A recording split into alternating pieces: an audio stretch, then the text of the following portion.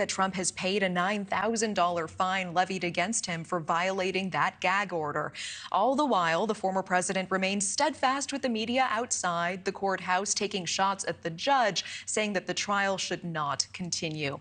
For more on this, we're welcoming back civil and criminal defense attorney Mark Reichel. Mark, thanks so much for making the time. Oh, thank you. As you're watching this all unfold this week, what were the biggest takeaways from Hope Hicks' uh, time on the witness stand? Well, it was interesting. I think it's it's something the jury is probably looking forward to because it's got to be interesting to keep your attention.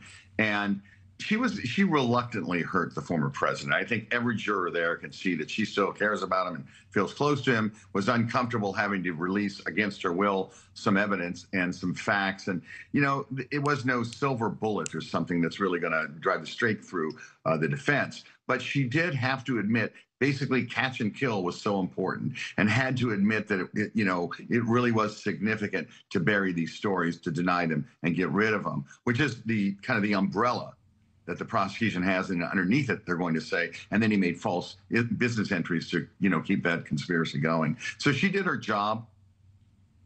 She did her job, and it seems like the specter of this Access Hollywood tape sort of loomed over uh, the proceedings this week. I, I also want to ask you the jury heard a recording of Trump and his former lawyer, Michael Cohen, allegedly talking about a hush money payment. Let's take a listen together.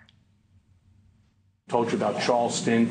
Um, I need to open up a company for the transfer of all of that info regarding our friend David, you know, so that I'm going to do that right away. I've actually come up and I've spoken, and I've spoken to Allen Weisselberg about how to set the whole thing up uh, with so what are we funding.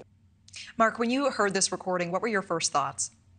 Like everybody, first of all, most of us are surprised an attorney tape recorded his client, which is then allowed in a trial that's already been ruled on and dealt with. However, it's damning evidence. I think that's the big stuff.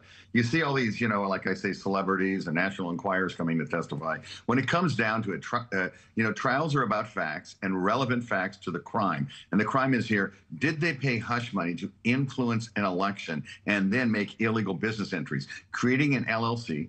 Getting the money to Mr. Cohen and dealing with a legal expense is really all this is about. And that tape, to me, should be the uh, final straw. I would use a closing argument if I was the prosecution. It's going to be tough to come up with an explanation around that not being um, with knowledge that you're going to make a, a business entry about that. Thank you for watching. Go to newsnationnow.com to find News Nation on your television provider. And don't forget to click the red subscribe button below to get more of News Nation's fact driven, unbiased coverage.